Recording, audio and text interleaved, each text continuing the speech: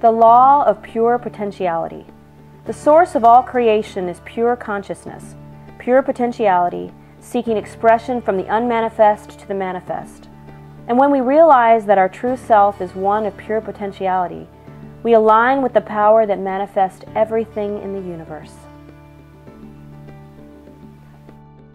When I read the first law of Deepak Chopra's book, The Seven Spiritual Laws of Success, I felt so empowered. It cut to the chase that everything that I've ever desired, that I wanted to feel, to be, or do, was actually at my fingertips because we're all one. We are energy waiting to express ourselves.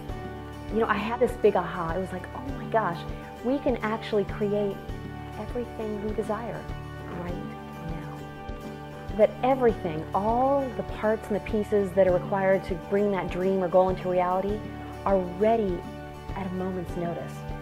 That to me, that's empowering. That's exciting stuff. I find that after I meditate, that my mind is so much more clear and calm and I'm ready to receive any information. You know, and just, just the act of, of meditating every day, of, of calming my mind, of actually kind of clearing out the clutter so I can actually see what's in front of me, of, of gaining clarity of what it is I really want my life to look like and to feel like and you know or, or maybe what that you know what that dream or goal is that I'm pursuing that for me that is the key for the law of pure potentiality.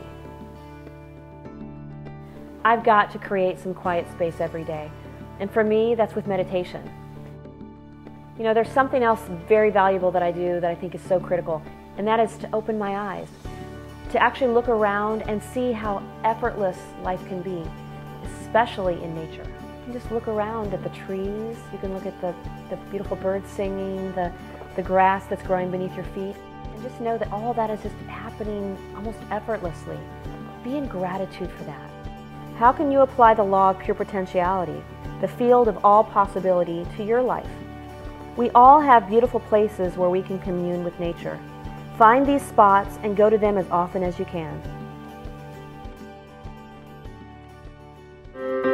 You like this video, be sure to subscribe to my channel and please share it with the world. One more important thing, head on to vanessachamberlin.com and sign up for free updates so you can get the information and insights that I don't share anywhere else. And as always, leave your comments below to get this ball of discussion rolling.